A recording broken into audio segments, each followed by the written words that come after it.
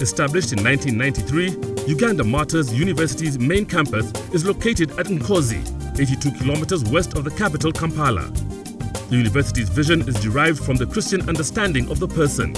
It is also committed to the development of each individual through education at all levels with an emphasis on moral values. UMU offers quality academic programs both in residence and through distance learning programs. This is enabled by its facilities, a well-stocked library and an advanced computer network. UMU exposes its staff and its growing student population to tools of modern technology in the respective fields of study. The quiet rural setting is ideal for a rich cultural exchange for students as they study and reflect on life's issues.